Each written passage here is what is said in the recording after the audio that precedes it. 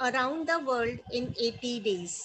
Explain how author has made use of international dateline and time zone in his novel. In this novel, Phileas Fogg accepts a challenge to go around the world. Correct? He takes the challenge to go around the world. The challenge is taken in the Reform Club in England. He, uh, this challenge is for 20,000 pounds. He accepts to go and he chooses to go eastward. He travels through Brindisi, Suez, Mumbai, Kolkata, Hong Kong, Yokohama, San Francisco, New York, and Liverpool. When he reaches there back in London, he thinks that he has missed the deadline, but his, uh, his companion, Passepartout, learns that their journey through different zones had gained them a day. In this way, the author makes use of international dateline in his novel Around the World in 80 Days. Question number two is money was never a concern for Mr. Phileas Fogg. This means he's taken, uh, accepted the challenge and the wager, the bet was of 20,000 pounds. But here in this uh, novel, money was not very important for Phileas Fogg. Phileas Fogg just took this as an opportunity to double his fortune. Double his fortune, earn more wealth. But Fogg's adventurous journey has nothing to do with money because he wants to show the members that he can do anything that he thinks he can do, that he sets out to do. He spends nearly all the money along the way. This shows that Fogg honors uh, Fogg's honor is more important for him than money. Phileas' tour around the world was full of adventures and surprises illustrate. The title Around the World in 80 Days itself indicates adventures and novel.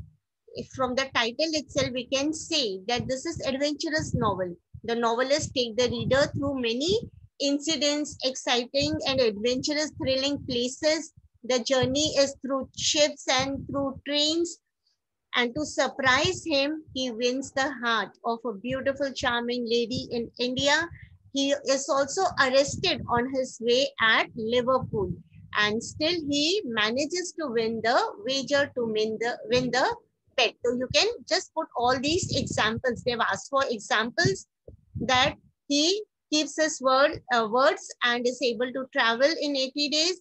And there is journey of ships and trains. She, he wins the heart of a girl. Passepartout blames himself for the misfortune of his master. At one place, master was arrested and Passepartout blames himself for the misfortune of his master. He had concealed Fix errand from his masters. He did not tell that they were chased by Fix.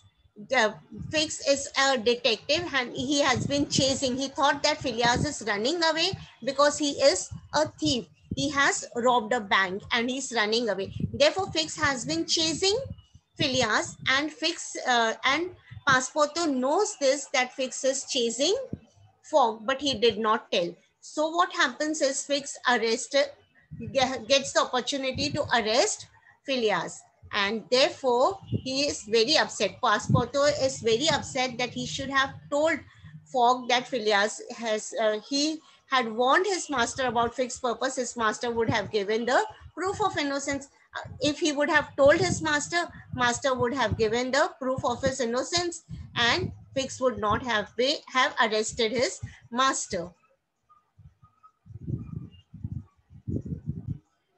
Compare the remorse in the minds of Mr. Fogg and Aouda for the seeming failure of his wager. The beautiful girl whose heart he won in India was Aouda.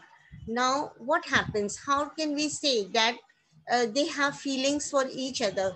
See, Aouda is surprised when Mr. Fox is arrested. Mr. Fogg is arrested and her heart revolts against the charge of foggery, uh, robbery on Fogg she is not willing to accept that Fogg is a robber and therefore she weeps bitterly. This is her side. And now Mr. Fogg thought that he was rich enough when he decided to bring Aouda from India. She would be free and happy. Now he's earning the money and he's happy that he'll make this girl happy. But now he lost his wealth and he's sad not for himself but for Aouda. So this is the remorse in the minds of Mr. Fogg and Aouda. Explain the stress on the mind of Fogg after returning from world tour at Seville Row. He returned to Seville Row after the world tour, but he thought that he has lost the wager and he was very upset. And how did he react? He did not open the windows and doors. No appearance of change was visible. He bore his misfortune with calmness. There was no change on his face. He was calm, but he did not appear in front of anybody. But he could not sleep throughout the night. He did not take his breakfast and dinner. He buried in his, himself in setting the affairs right. He was busy setting everything right. Passepartout stationed himself outside Phileas' door Passepartout stationed himself outside Phileas' door because he wants to keep watch upon his master. Mr. Phileas confined himself. He locked himself as he thought he didn't reach London in time and he lost the bet.